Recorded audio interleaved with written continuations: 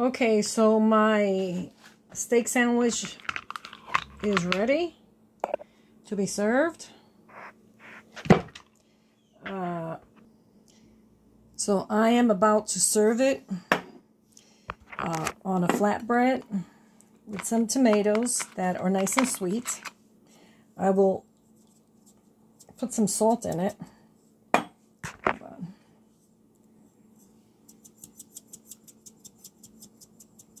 Sometimes these pretty little things, I love them, don't work as well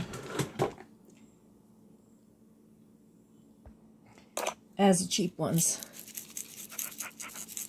You get a whole lot more. Okay, so now I'm ready to rock and roll. I'm hungry and um, I'm ready to pick on parts of this steak sandwich.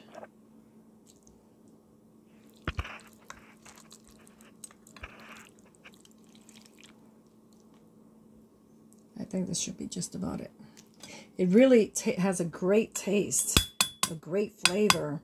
Um, I don't think I need to put peppers and onions on it, but I will. I actually had tomatoes. I put tomatoes in it as well.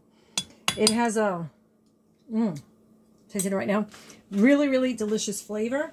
I just wanted to share this with you.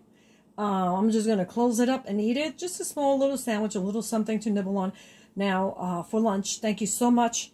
I know it's kind of like a shadow here, and I don't like that. That's a better picture. Okay, so um, please like this picture. Uh, if you have not subscribed, please subscribe. Then click again to uh, for the notifications bell. And don't forget to put a comment. We'd love to hear back from you. Let us know how you feel about my little meal. There's plenty in the pot. It's just a small sandwich for now. Have a great day. Bye now.